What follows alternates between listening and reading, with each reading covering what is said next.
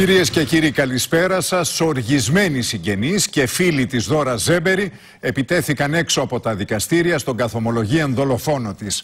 Οι αστυνομικοί προσπάθησαν να φυγαδεύσουν το δράστη που δέχθηκε άγρια χτυπήματα από το πλήθος. Ποιος είναι αλήτη μου φάγε στο παιδί!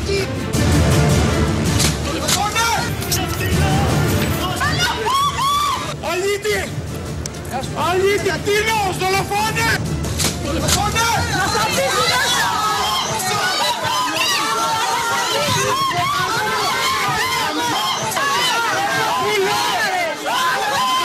Οργή για τον 58χρονο στα δικαστήρια. Συγγενείς και φίλοι της δολοφονημένης Δώρα Ζέμπερη ξεσπούν. Οι αστυνομικοί προσπαθούν να τον φυγαδεύσουν. Το πλήθος εκτοξεύει καφέτες και μπουκάλια εναντίον του.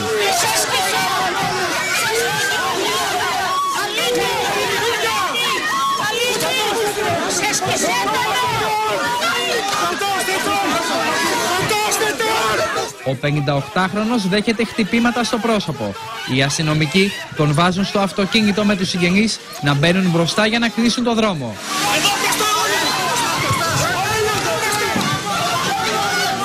Ο πατέρας της Δώρας βλέπει τον 58χρονο που φοράει αλεξίσφαιρο γυλαίκο. Ένας αστυνομικός ρίχνει κάτω τον πατέρα. Ποιος είναι! Κάτσε τον! Ποιος είναι! Ποιος είναι! Αλήτη μου φάγες στο παιδί! Αλήτη! Αλήτη! Αλήτη! Ποιος είναι! Αλήτη! Αλήτη! Αφήστε με! Αφήστε με! Αφήστε με! Αφήστε με!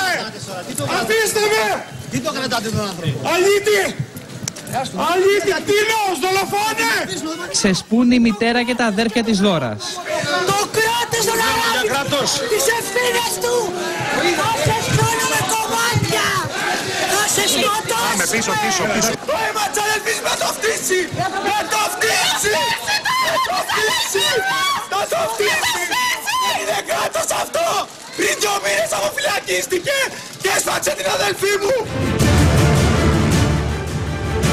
Τρέχοντας προσπαθούν να γλιτώσουν τον 58χρονο οι αστυνομικοί. Ξεφτύλα! Αλήθεια, ξεφτύλα! Ξεφτύλα! Ξεφτύλα!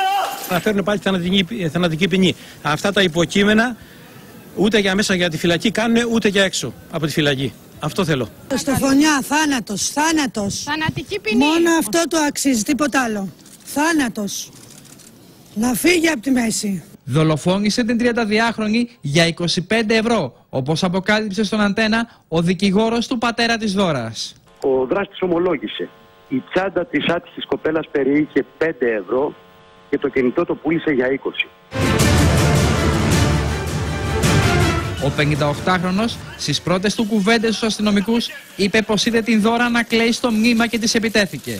Σε κάποιο σημείο είδα μια νεαρή κοπέλα με μαύρα μαλλιά και σκουραρούχα. Έκλαιγε μπροστά σε ένα μνήμα. Δίπλα σε ένα πεζούλι είχε μια μπέλτ τσάντα. Σκέφτηκα να την πάρω γιατί πίστευα ότι θα είχε λεφτά. Περιέγραψε τι συνέβη όταν προσπάθησε να πάρει την τσάντα της άτυχης εφοριακού. Την πλησίασα από πίσω και με το μαχαίρι της ζήτησα να μου δώσει την τσάντα. Γύρισε απότομα και μου επιτέθηκε. Άρχισε να με χτυπά και να φωνάζει. Με το αριστερό χέρι την κρατούσα και με το δεξί τη χτυπούσα. Κάποια στιγμή ματωμένη έτρεξε προς το κέντρο του νεκροταφείου φωνάζοντας βοήθεια.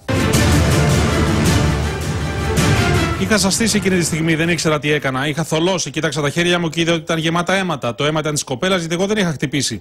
Έβγαλα μια χαρτοπετσέτα και σκούπισα τα αίματα.